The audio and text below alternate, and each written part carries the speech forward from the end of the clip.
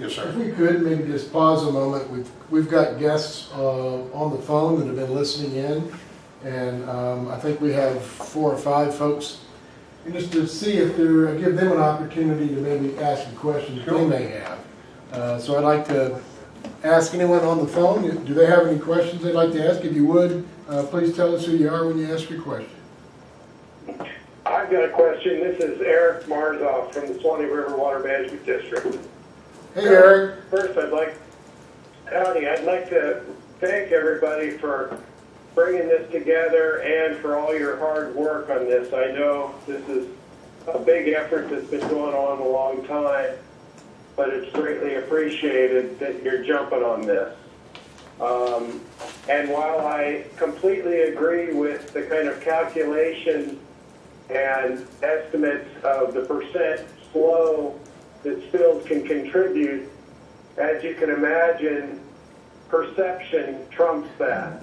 So we get a lot of calls from folks that live along the rivers or have businesses along the rivers, and the perception of contamination can be uh, as harmful as, not perhaps as a real spill, but it can still be a big hit to um, people living along the river and businesses. So um, really appreciate your hard work, and my uh, my comment would be uh, keep the pedal to the metal. uh, my qu- my question would be if you have an estimate of once you get, um, you know, say five years down the road, where you've got the new force main, the new plants, you've done a lot of the slip lining and smoke tests.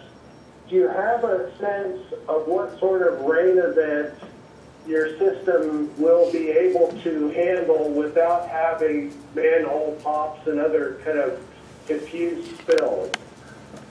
Uh, I'll answer that. It's, this is an ongoing program. I mean, we're looking at the first five years of this program as WASH. This actually, we have a 20-year program. So this is not, you know, we still got to keep a, a, a pedal to the metal, as you say, for a while yet. Uh, As we continue to find these problems and correct them, I think it's going to take a major, hopefully, we will not have any of the manhole overflows. We got some other projects on the books right now that get some of these smaller manhole problems that we've had, some redirection of force mains. But we're anticipating the force main project alone will eliminate the majority of spills that we've had in the Withlacoochee Basin. Uh, In the Mud Creek Basin, we've got a lot of, a lot of lines to repair, a lot of manholes to repair.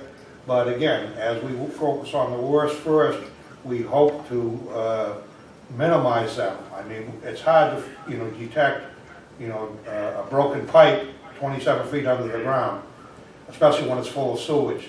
Uh, But that's, that's one of the challenges we've got to do, we've got to continue on that. You know, the goal is, is we've got, I think, $12 million budgeted in the next four years just for slip lining alone. And that's the first step. And we've got a lot of those, lot of those larger diameter mains we've got to attack too. But, you know, one step at a time, so. But I think, you know, you're gonna see, as this work continues, you're not gonna see the amount of overflows, uh, severity of them, or the amount of them as work Well, most of the overflows now are occurring because the system is all gravity and the fifty-four inch system is going underwater every time. If, if we see something that says the river's at flood stage, we already have problems. So by abandoning that fifty-four inch, well, that's no longer gonna happen. And by uh, not having all gravity, the system is not gonna back up, which is also causing a lot of the manhole overflow, so the force main will be under pressure. And then there's multiple safeguards, a plant's being relocated, and then there's a six million gallon hole in the ground, worst case scenario, so if your storm event is even worse than you anticipate, you've got that kind of excess storage capacity. So those are all things ongoing now that will be completed by January, so, I mean, obviously, we believe that's gonna, uh, eliminate, uh, uh, the majority, hopefully all of these, so. Does that answer your, your question? Yes, that's that's great. Getting right at it. Um, uh, I appreciate the, the